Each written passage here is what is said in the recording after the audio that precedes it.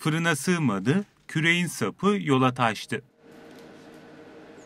Rize'de simit yapılan fırında simitleri fırına sürmek ve almak için kullanılan tahta kürek dükkana sığmadı.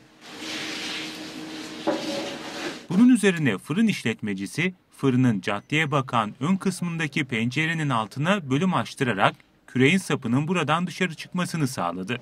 Arada bir sıkıntılarımız oluyor. Araçlar geçerken küreğin sapını kırma tehlikesi oluyor. Araçları çizdiğimiz oluyor. Vatandaşımız yine iyi karşılıyor bizi. Her yani herhangi bir sıkıntı yapmıyorlar. Ankara'dan vatandaş geldi buradan simit aldı. Eğildi alttan baktı bu nedir diye. Geldi içeri baktı. Ondan sonra küreğin sapını tuttu. İçeri doğru vermiyordu mesela.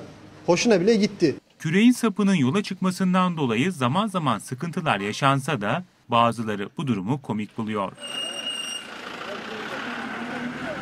Abi atlayışın, Ali Üsman'dan simitçinin yüzüne ve sıcak simit. Bundan daha güzel bir şey olabilir.